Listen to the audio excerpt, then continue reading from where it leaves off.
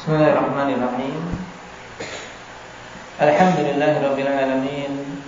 Wassalatu wassalamu ala rasulihil amin. Wa ala alihi wa ashabihi ajma'in. Amma ba'd. Pembahasan yang lalu Alhamdulillah kita telah sampai pada adab yang ketiga. Hendaknya seseorang Nah Betul-betul memahami syarat-syarat Madrasah yang dia belajar di sana Atau ma'had Atau pondok yang dia belajar di situ Apa saja aturan-aturannya dia pahami. Nah Jangan menjadi prinsip seorang talib ya. Prinsip enam tidak peduli dengan aturan. Sehingga banyak melakukan penyelisihan ini tidak betul dan jauh dari adab yang dibimbingkan oleh para ulama. Juga termasuk hal yang ditanbih dalam adab ketika ini berhubungan dengan apa? Mengambil santunan. Mengambil santunan dibimbingkan selama seorang mungkin untuk tidak mengambil santunan maka itu lebih utama. Baik. Tapi kalau memang dia membutuhkannya Baik sehingga dengannya dia tidak tersibukkan dengan hal-hal yang lain Seandainya memang ada bantuan maka tidak mengapa. Cuma tadi butuh apa? Butuh niatan yang bagus. Dan butuh niatan yang bagus. Nah dikatakan oleh beliau biniyatil tafarruq li akhdhil ilmi wa naf'in nasi Ini penting. Ya dia niatannya tafarruq memang konsentrasi untuk mengambil ilmu dan untuk bisa memberikan kemanfaatan. Butuh niatan seperti ini kalau memang seorang mengambil apa? Mengambil santunan atau bantuan untuk belajar. Jangan sampai mengkhianati orang yang memberikan bantuan diberi bantuan santunan tapi ternyata tidak belajar dengan benar. Ini khianat. Nah, sekarang kita masuk pada adab yang keempat. Iqra Allah. Bismillahirrahmanirrahim. Qala bi rahimahullah ta'ala adab rabi' ila al-rabi' wa sakna al-madrasati 'ala al-mu'addibina biha duna ghairihim lam yaskun fiha ghairuhum Bab yang keempat Jika orang yang mewakafkan membayar hasil untuk tinggal di madrasah adalah orang-orang yang terdaftar di madrasah bukan untuk selainnya maka tidak boleh yang selain itu untuk tinggal di madrasah. Nah, ini sesuai dengan syarat wakif karena wakif alhamdulillah dia mewakafkan dia punya hak Nah, sebagaimana apa? Rumah. Walaupun itu telah diwakafkan, tapi tetap dia punya hak. Dan sampai seseorang ah, kan sudah diwakafkan, kemudian dia seenaknya ini milik Allah. Nah, tidak demikian. Seorang yang mewakafkan punya syarat. Nah, misalnya aku wakafkan ini syaratnya yang memakai misalnya para penuntut ilmu. Nah, atau orang-orang yang sudah didaftar Misalnya wakaf rumah Rumah untuk para talabatul ilm Baik, maka ya orang yang sudah daftar Siapa ini pulang-pulang-pulang Maka tidak boleh tinggal di rumah wakaf tersebut Kecuali mereka-mereka yang telah didaftar Telah diberi izin. Nah, sebagaimana dulu juga di Damas Nah, di sana ada rumah-rumah wakaf. Memang diwakafkan di Masra'ah Nah, maka saya sering mengingatkan kalau memang bukan talabatul ilm ya keluar tidak berhak untuk untuk tinggal di rumah-rumah wakaf tersebut. Ini misalnya salah satu bentuk syarat. Nah, kalau melakukan atau tetap tinggal saja di situ dalam keadaan tidak ada tidak izin atau memang dia bukan termasuk yang didaftar, maka dia tidak bermaksiat dan zalim. Kenapa meninggali sesuatu yang dia sebenarnya tidak berhak? Stamil. Yahsul waqif wa dharik fala ba'sa idan kana sami'u ahlan mara.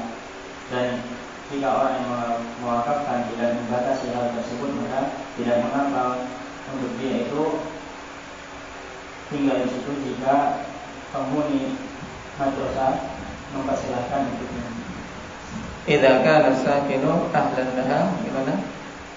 Jika penghuni madrasah itu mempersilahkan untuknya. Hmm. Wa illam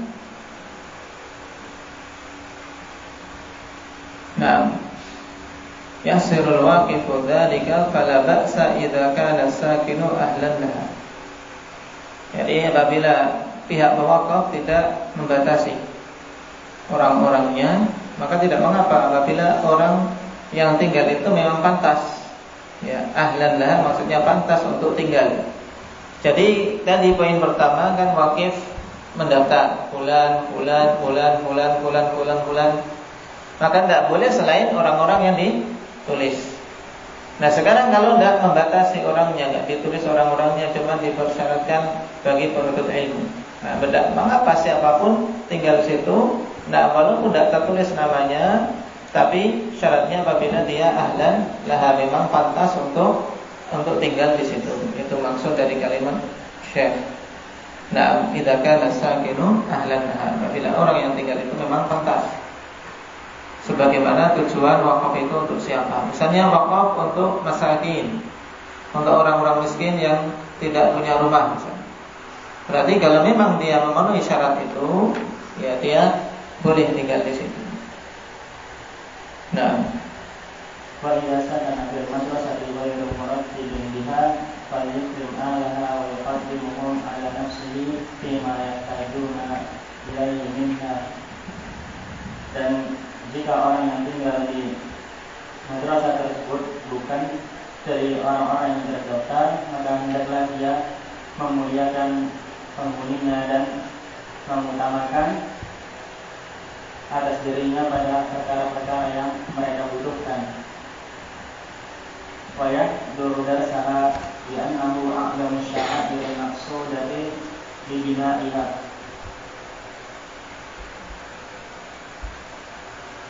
dan dikarenakan hal ini merupakan sebesar-besar tujuan dari dibangunnya madrasah itu bahwa kita dan kewakafannya lima fihi minal qira'ati wa du'a ijtima'i ala majlis dzikri wa tadabbur ilmi dikarenakan majelis di mana di dalam majelis ilmu tersebut terdapat pembacaan ilmu dan doa kepada orang yang mewakafkan dan berkumpul atas atau berkumpul pada majelis zikir dan mudzakarah terhadap ilmu. Fa idza taraka sakinu fiha dzalik faqad taraka al-maqsuda bi bina'i maskanihi alladhi huwa fihi wa dzalika yukhalifu maqsud al-waqifu dhahiran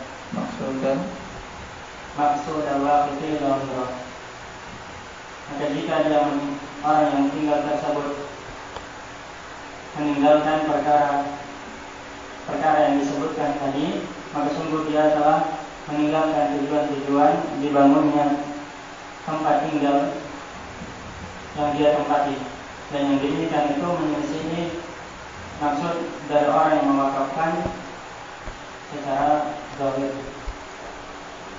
Nah, sekarang pada paragraf ini ada yang hendaknya ditempuh oleh seorang yang tinggal padahal dia tidak terdaftar. Bagaimanapun juga ya harus apa? Harus sabar. Nah, falyukrim ahlaha hendaknya dia memuliakan orang yang tinggal di situ yang memang nah, sudah terdaftar. Taib mendahulukan kebutuhan mereka dan yang paling penting wayah dulu dan sah dan dia hendaknya menghadiri pelajaran di madrasah itu itu pelajaran di ma'had tersebut karena itu adalah syiar terbesar yang menjadi tujuan dibangunnya madrasah dibangunnya ma'had, dibangunnya pondok. Dan juga syiar terbesar diwakafkannya tanah itu. Dan ini penting, Misalnya tempat kita. Nah, maka bagi siapa saja yang tinggal Nah, baik Nah, uzab maupun mutasawijin Yang berusaha untuk mewujudkan Apa yang Nah, dengannya tempat ini diwakafkan. Diwakafkan untuk Kita menghidupkannya dengan ilmu. Maka sebisa mungkin Dan Baik untuk kita hidupkan dengan ilmu. Termasuk juga apa? Aba wa umahat berusaha untuk menghidupkannya dengan ilmu. Jangan nah, kemudian dari sisi ini terjadi kusur, yaitu nah, sangat kurang pengambilan ilmu, sangat kurang untuk memperhatikan masalah ilmu. Kenapa? Karena ini sebesar-besar syiah yang ditujukan untuknya dan wakaf juga untuk hal tersebut juga lima fi minal qiraah wa du'a lil waqif wal ijtima' ala majlis dzikr. Karena padanya ada qiraah, kemudian doa untuk orang yang berwakaf dan juga berkumpul di, di majelis ilmu yang faedahnya kepada diri kita sendiri. Juga tadabburul ilm untuk apa? Mengulang-ulang kembali ilmu, saling mengingatkan. Ini. Maka kalau yang tinggal meninggalkan hal tersebut Maka dia telah meninggalkan maksud dibangunnya tempat Yang disebutkan tadi yaitu maskan asrama atau pondok tersebut. Sehingga pada nikah Yohani maksud al-waqif yang Demikian itu menjadi tujuan orang yang berwakaf secara zahir Nah, sekali. Fa'ilam yahdur, rola anha wa tasasi لأن عدم مجالسة مجالستهم مع حضوره من غير عذر ظاهر إساءة أدب وترفع عليهم واستغناء عن فوائد وترفع ترفع عليهم وترفع عليهم واستغناء عن فوائدهم واستهتار بجماعتهم dan jika dia tidak menghadiri pelajaran tidak hadir pada waktu pelajaran dikarenakan yang demikian dikarenakan tidak hadirnya dia pada majelis pelajaran bersamaan hadirnya guru dengan tanpa udur maka ini adalah nampaknya kejelekan adabnya dan angkuh terhadap mereka dan tidak butuh terhadap faedah-faedah dari mereka dan meremehkan perkumpulan mereka. Tapi sekarang kalau dia tidak hadir, nah, fa'in lam yahdur, ghaba anha waqtan dars. Nah, jika tidak hadir atau apa menghilang di waktu pelajaran tersembunyi atau pergi. Nah, ini merupakan adab yang buruk. Nah, Kenapa? Lianna adama tayyib. Uh, jawabannya ini. Fa illam yahdur ghaba anha waqta dars. Apabila dia tidak hadir, tidak hadir di pelajaran, maka hendaknya dia pergi dari apa? Dari asrama tersebut di waktu pelajaran. Paham? Jadi komahnya ini bagus dihilangkan. Fa illam yahdur Ghaba anha waktu daras ghaba jawaban dari ini. Jika dia tidak hadir, tidak menghadiri pelajaran, ya sudah pergi keluar. Nah, di waktu pelajaran. Misalnya ada kebutuhan di luar sana. Kenapa? Lianna ada mujalasatihim ma'a hudurihi min ghairi udrin zahiru isaati adab. Dikarenakan tidak Nah, hadirnya dia di majelis padahal dia ada di tempat itu. Cuma tengok-tengok saja di rumah. Nah, padahal ada di situ itu termasuk apa? Ada yang buruk yang jelas. Ya, dohiru isaati adab. Padahal ada pelajaran, tapi malah dia cuma duduk-duduk di asrama. Nah, ini adab yang jelek. Tapi kata Imam Ibnu Jamaah rahimahullah taala ya kalau tidak hadir ya pergi keluar sehingga apa? Sehingga tidak terlalu menunjukkan peremehan. Karena mungkin tentunya keluarnya ini ya karena karena suatu urusan harusnya karena suatu udur atau suatu hajat. Tapi kalau ada kok ternyata tidak hadir maka ini jelas merupakan buruk ya merupakan adab yang buruk yang ada pada dirinya. Wa taraffu'un alaihim dan bentuk taraffu yaitu apa kecongkakan dia.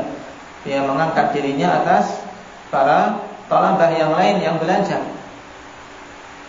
Wastighna'un an fawaidihim dan merasa tidak butuh terhadap faidah-faidah yang disampaikan oleh mereka. Wastihdarun wastihdarun fi jama'atihim dan sebagai bentuk apa? Peremehan terhadap nah, jamaah mereka yaitu apa? E, perkumpulan tersebut. Karena manusia berkumpul bermajelis ilmu dia malah tidur tiduran misalnya atau malah nah, melakukan hal-hal yang tidak bermanfaat dalam keadaan dia hadir di sekitar. Dan juga tidak memiliki kesibukan Qala wa in hadara fiha fala yakhruj fi hal istima'ihim min baitihi lidharuri darurah. Kemudian jika dia hadir ya ada di nah madrasah tersebut maka jangan keluar di saat mereka berkumpul nah kecuali apa kecuali untuk suatu kedaruratan. Baik fala yakhruj fi hal istima'ihi min baitihi illa lidarurah. Kalau dia ada di situ, kemudian apa? Manusia sedang berkumpul ya jangan keluar dari rumah kecuali untuk suatu darurat. Wala yataraddadu ilaihi ma'a hudurihim wala yad'u ilaihi ahadan aw yakhruju minhu ahadan aw yukhriju aw yukhriju minhu ahadan. Dan jangan dia bolak-balik bersamaan dengan mereka sedang hadir berkumpul kalau ini kita tidak ikut, misalnya tidak ikut nah, ada musyawarah kah atau yang lain, ada perkumpulan. Nah, jangan apa? Jangan kayak setrika, sana ini, sana lagi, sana lagi. Nah, cari perhatian. Taib, ini maksud Imam. Jadi, wala yataraddadu ilaihi ma'ahudurihim. Ya bersama dengan hadirnya mereka sedang berkumpul Ya jangan apa? Jangan bolak-balik ke situ. Juga apa? Wala yad'u ilaihi ahadan. Jangan memanggil na'am seorang pun untuk menemui dia kalau sedang ada perkumpulan penting. Au yukhriju minhu ahadan atau mengeluarkan ya, seseorang dari apa? Dari perkumpulan itu. Nah, qala wala fil madrasah أو يرفع صوته بقراءة أو تكرار أو بحث رفعا منكرا dan jangan dia nam tamasya sekedar apa melancong berjalan-jalan ke sana kemari di madrasah kayak kayak turis lihat naam sesuatu yang aneh Baik atau dia mengangkat suaranya ketika membaca atau mengulang-ulangnya atau membahas Nah, dengan apa? Suara yang keras yang nah, diingkari oleh manusia. Kalau sekedar keras tapi apa? Standar sebagaimana orang biasa, tidak masalah. Tapi ini raf'an munkar, yaitu suatu nah, kondisi dia mengangkat suara nah, yang munkar. Teriak-teriak. Au yaghliqu babahu au yaftahuhu bi sautin atau dia dengan menutup pintu atau membuka pintu dengan suara cekrek cekrek cekrek cekrek nah. Ini juga mengganggu. Nah, ketika menutup pintu, ya, nah, yang pelan. Misalnya kita sedang majelis di suatu rumah, dia tidak ada, nah mengganggu. Ini orang marah atau apa? Baik atau mau unjuk tenaga, unjuk kekuatan atau bagaimana? Wadah dzalik dan yang semisalnya lima fi dzalika kullihi min isa'atil adab 'alal hadirin wal hamaq 'alaihim. Baik, dan yang semisalnya dari hal-hal yang mengganggu. Karena itu merupakan apa? Bentuk adab yang buruk. Ya. Buruk adab terhadap orang-orang yang hadir dan perbuatan hamak, perbuatan kedunguan. Ya. Baik, atas mereka.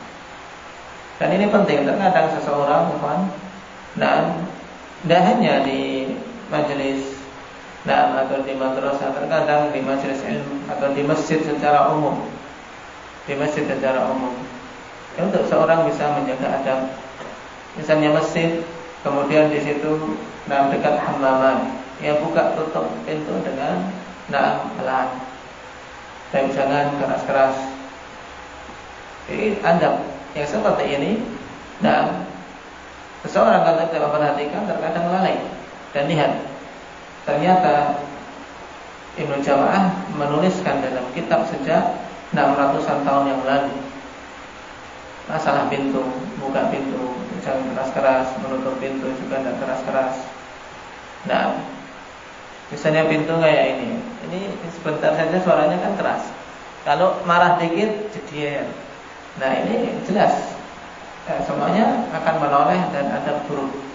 Nah, ada buruk.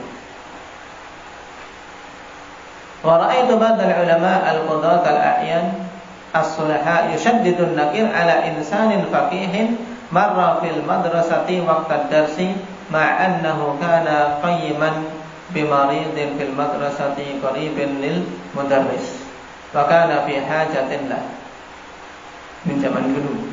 Beliau mengatakan aku nah, melihat sebagian ulama nah, seorang para qadhi kemudian dalam deretan orang-orang yang musleh, orang-orang yang soleh, yang baik, membuat perbaikan juga sangat keras pengingkarannya kepada seseorang yang fakih nah, yang lewat apa di depan madrasah di saat pelajaran yang jadi iklan.